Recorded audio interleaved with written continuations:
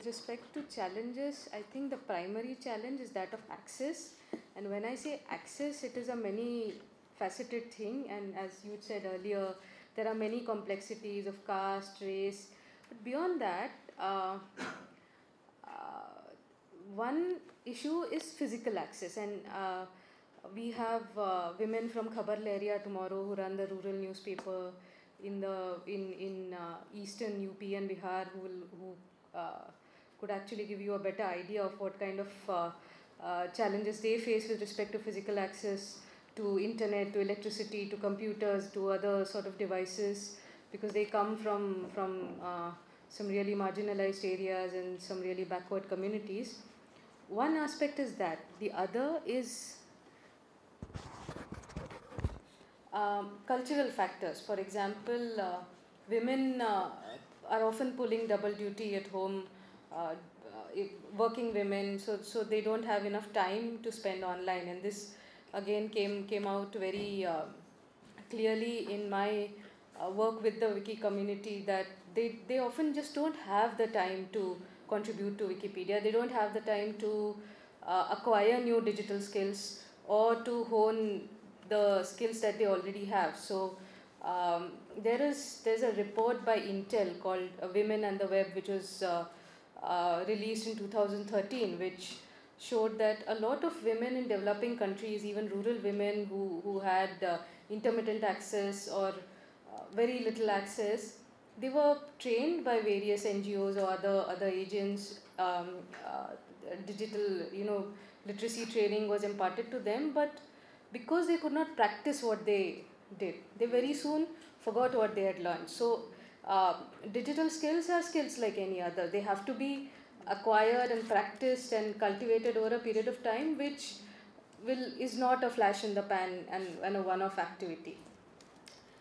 The other facet of as access uh, with respect to ICTs and the internet, I would say, is that access is the first step. Without physical access, of course, you can't uh, do anything.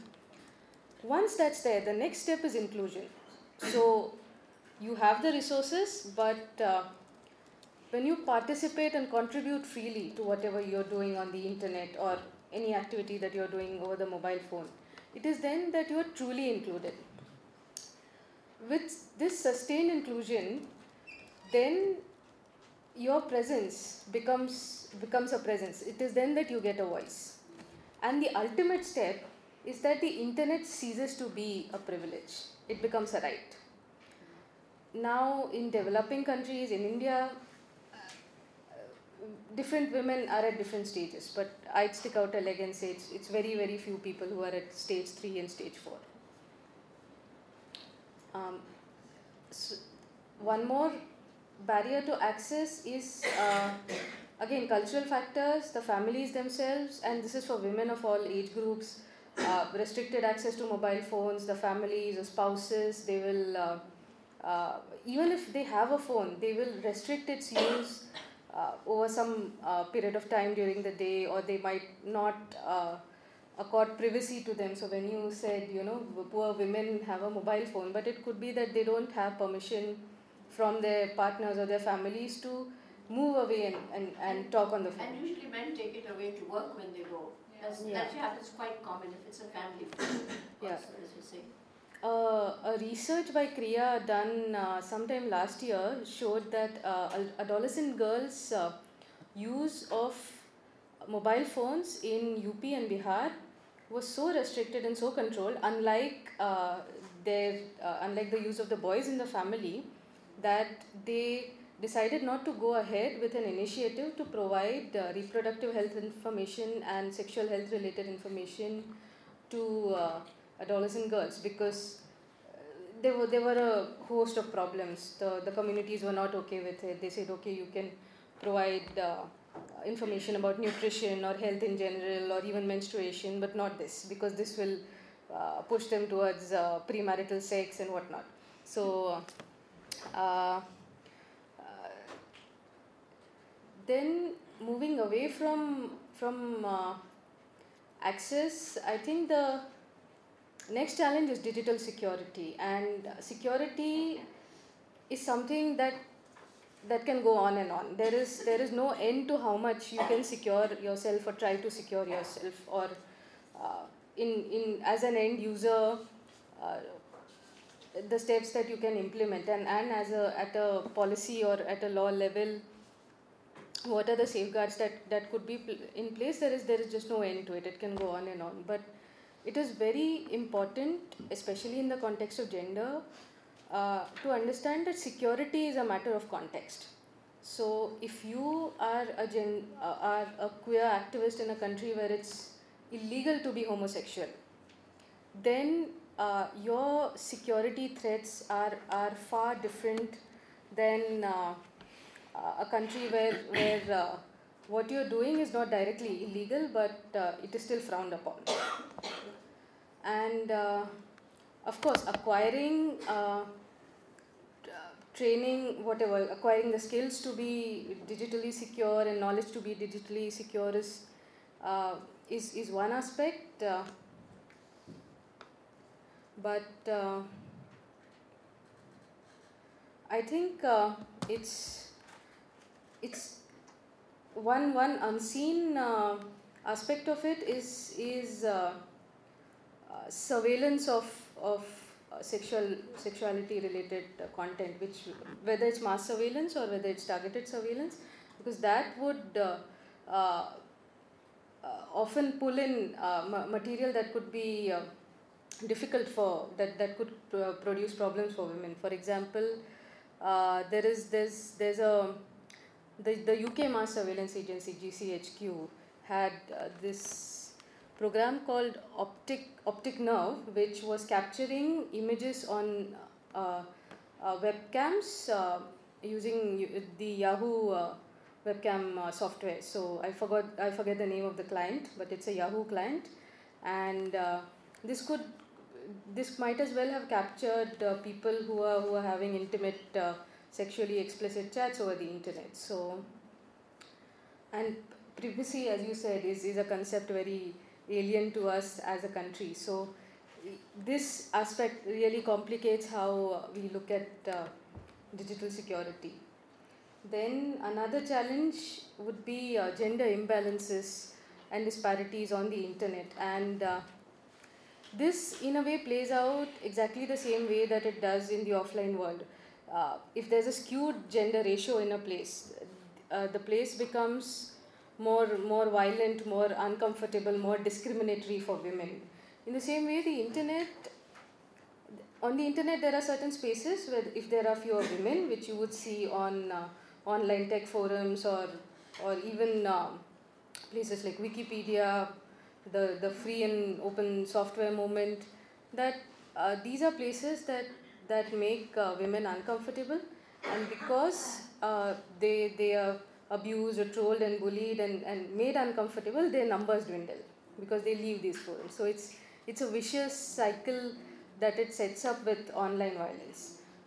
Um, another aspect of it is that uh, they uh, is that uh, uh, these these imbalances and disparities are difficult to spot and address and contain. So uh, it's not always very apparent that somebody is being abused uh, in in the way that somebody is being abused on Twitter or or the way you see it in social media, but it takes very covert forms at times. Like uh, uh there are there are certain ways in which women-centric articles are edited on Wikipedia, which do not directly use uh, and someone had mentioned the Bhanwari Devi article uh, over here. So there I pointed out that there are weasel words and uh, words like slut used there with the intent of defaming her. But it may not always be that covert. There are there are um, ways in which women uh, edits made on women-centric articles and edits made by women are subverted uh, or reverted and uh, uh, very often very valid, very concrete policies are uh, cited to do this. So this kind of insidious uh, uh, gender discrimination, gender bias on the internet also happens, and that's even more difficult to uh, address and even more difficult to contain because it's it's very in the undercurrents. Thank you.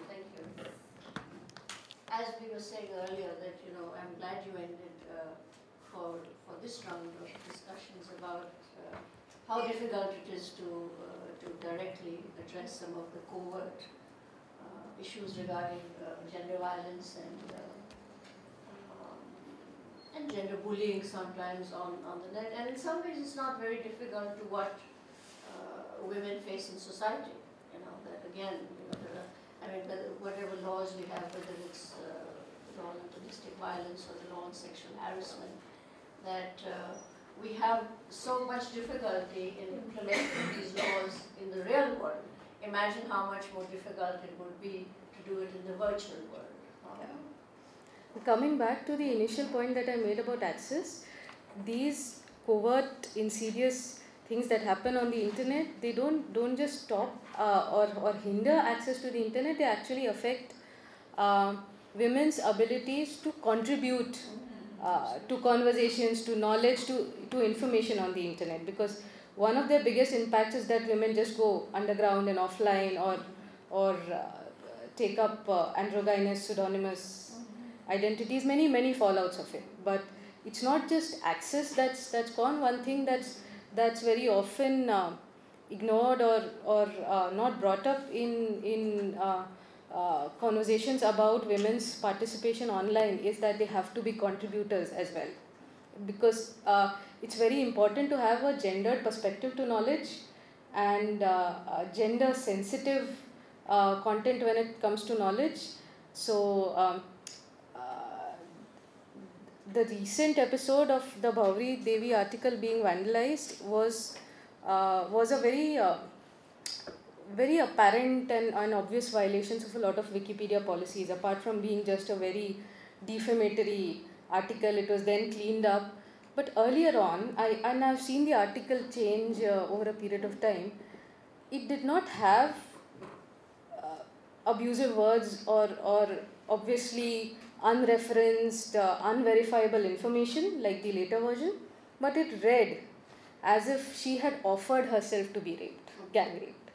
But the, the language was, was not the sort that would be unacceptable on Wikipedia or anywhere else. So it was an interpretation. But but it was the, the language was utterly gender insensitive and it was it was not the way an incident like this should be written for. So which is something that only someone with uh, uh, the these kind of sensibilities, irrespective of their gender, will understand.